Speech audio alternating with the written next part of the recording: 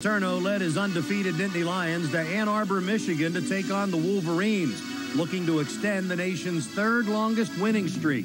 Penn State came into the game ranked eighth in the country. And while many of their freshmen have been getting a lot of attention, the leadership of senior quarterback Michael Robinson has been a key in the Lions' leap to the top of the Big Ten Conference. He orchestrated an encouraging game-opening drive. Motion toward us by King. They give it to King swinging near side. First down 30. Justin to the 34-yard line. Good snap to Robinson. High, waits, rolls near side. Gets the block from Hunt 35, 40. 45. He stepped out of bounds. Second and two. Hunt up the middle, Hunt first down 45, spun around at midfield to the Michigan 49 and a first down. Strong running again by Tony Hunt, and Tony Hunt with that leg drive at midfield gets the first down. They pitch it to Williams. He's got Burgess to feet. Goes by him to the 50, 45, 40 out of bounds near side, inside the 40. Prescott Burgess that time was faked. In front of a network TV audience and yet another crowd of more than 100,000 in person, Penn State put together a 13-play drive that was working so well, it gave them the confidence to go for it on fourth and two. Pitch to Hunt, following Snow. Tony to the 30, first down to the 25-yard line to the 24. They not only got a first down, they got six on that play. Tony Hunt continues to talk softly but carry a big role as the go-to guy for tough ground yards. Penn State got to the 14-yard line, and they tried to get on the board with a field goal. The angle is to Kevin's left. Good snap, put down by Gainer. The kick by Kelly is up, and the kick by Kevin Kelly is no good. Penn State linebacker Paul Posluszny had been named Big Ten Defensive Player of the Week for the third straight time, the first player ever to do that. And he and the rest of the defense made sure the Wolverines' first possession of the day wouldn't last very long. On second and 10 from their own 36, back goes Henne. Screen again to Hart. Good blocks in front, and what a play by Connor to take him down at the 43-yard line. While Penn State's offense is sprinkled with freshmen, their defense is a group of seasoned veterans who have allowed just one first-quarter touchdown this season. Four-man rush. Sets, drills it downfield. Pavano makes the catch. No, out of bounds. Harrell hit him, and Avant did not make the catch. He dropped it. This defense forces a three and out for the 32nd time this season. It would be a defensive first half with both both sides giving up ground grudgingly. Michigan never crossed the 50-yard line until halfway through the second quarter. Right side, Posluszny, the three-time Big Ten Defensive Player of the Week, takes down Hart. Back goes Henne.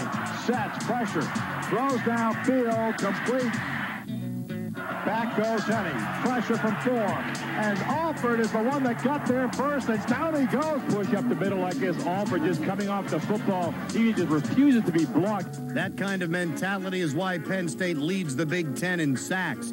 Offensively, they started the second quarter deep in their own territory, but they started the same way they did the first, with a well-planned drive that lasted for 12 plays. Unfortunately, it would end the same way. Back goes Robinson, throws far side for Williams, 40, 45, 50, Clark, 40, far sideline, 30, 25, and out of bounds. I think they say he stepped out at the 37, but Derrick Williams, Jack, in stride. Mike threw a great ball that time. Robinson on third and two at the 29. Option play far side. He'll keep it and go. Michael battled. Massey grabs him, and I think he's going to be a half yard short. Snaps on the money. Put down. The kick is up. That's not going to get there. In fact, that snap was low. Having little success with their conventional offense, Michigan finally got into Penn State territory with a direct snap to Antonio Bass. The quarterback Chad Henne lined up wide. Chris Harrell and the Penn State defense would stop the drive, but not before the Wolverines were close enough to try for three. Kick is up by Rivas. The kick is good, so Michigan has hit its one field goal attempt, and that's why they lead 3-0. And that's the way the half would end. Penn State dominated the clock and the statistics, but trailed where it mattered, setting the table for a memorable second half. The shadows lengthened in the late afternoon sun at Ann Arbor, providing an interesting backdrop for a Penn State team back in the national spotlight and a Michigan team that was trying to get there. Hard drop play, first down, 50, 40, track down. The Wolverines came out swinging and set the tempo for what would be a completely different half. Here we go, Hart left side, hit at the goal line, touchdown, Michigan. This was only a warm-up to the fireworks that were to follow, and Penn State was more than willing to provide them on both sides of the ball. Hart Hit by Paxson, breaks that tackle. Hit by Harrell, breaks that. Then Hali cleans him up at the 33-yard line. Third down and four. Back goes Henne. Sets up, waits, rolls right, through a seam, hit at the 36 and fourth down. Penn State had moved the ball against Michigan, but had not been able to take advantage of their opportunities. That, however, was about to change. Well, he bottled the snap, picks it up, he's in trouble. Rolls to his right, gets away from Blanche, throws for an open Golden at the 50. Near sideline 40, 35, 30, to the 25, 20, stumbles at the 13-yard line. You know what they say about the best laid plans, but Michael Robinson's improvisational skills helped Penn State acquire a large chunk of prime Ann Arbor real estate against the best pass defense in the Big Ten. Kevin Kelly got another chance. Down, pop, kick is gone. Penn State makes this a one-score game. Setting the scene for what would be one of the most incredible fourth quarters in Penn State history, perhaps in college football history. Tamba Hali, Matt Rice and company helped Penn State get the ball back, and Michael Robinson knew who to give it to. Tony Hunt, right side, 40, Tony, 45, 50, 45, 40, 35, 30, 25, 20, 15 to the 10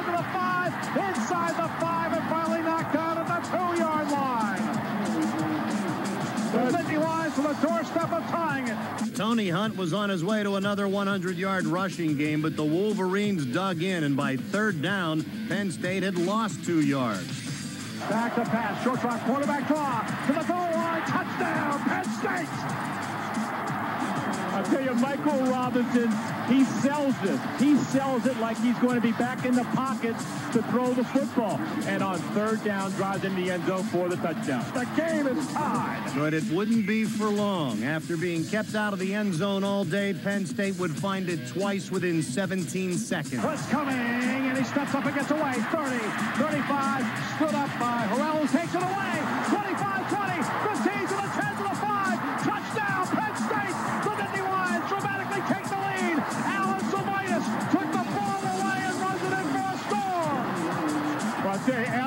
Alan Zemaitis in making a tackle went for the football. It's a great job of taking the football away. Penn State was making their own breaks, even when they botched the snap on the extra point. Put down. Kick is up. Now they roll to left. Now Kelly's going to try and run it for two points. Kelly to the goal line. He's got the two points.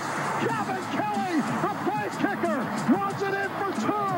It is now an 18-10 game, and everything is dramatically changed here in the last five minutes. I'll tell you, Kevin Kelly ends up a botched snap. He ends up picking it up, and he turns into Tony Hunt. But there was a long way to go before the sun set on this one. Penn State had quieted the stadium, but the Wolverines bared their teeth and bit back, getting a big kick return from Steve Breaston to start what would be a game-tying drive.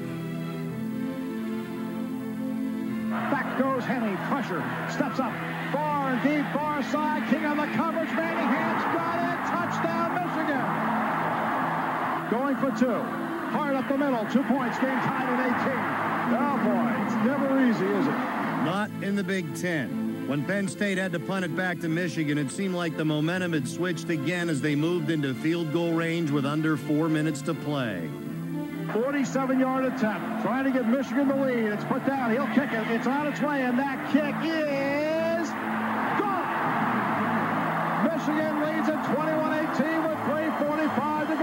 Now things really appeared dark for Penn State.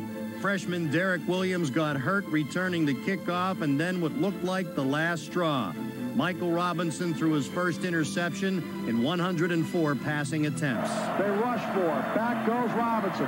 Throws for Norwood. Picked off by Leon Hall. 45-40. Hall 35-30. 25-20. Game over. Penn State's defense said no.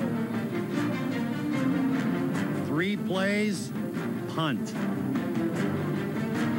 That left Michael Robinson with 81 yards and no timeouts to work with. Throws for Golden. Breaks a tackle 25. Terrell Golden. First down. Good snap to Robinson. Back to pass. Time. Throws it up down the middle. Norwood makes a tough catch at the 45.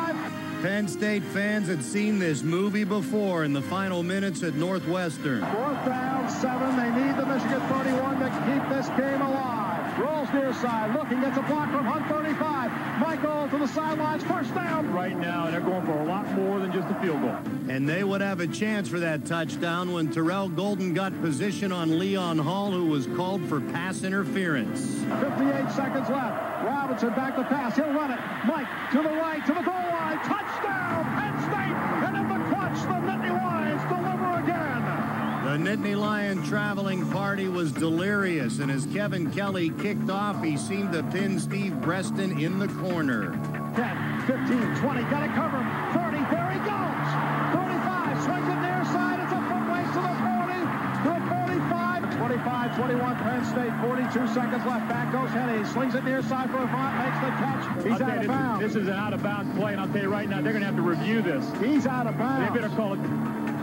Penn State can't. He was out of bounds. The play was not reviewed, and the 17-yard gain stood. The drive continued. Michigan against the clock, Penn State against Michigan, college football at its best. They've got one, maybe two plays. Back goes Henne trying to win it. Play action. Got time.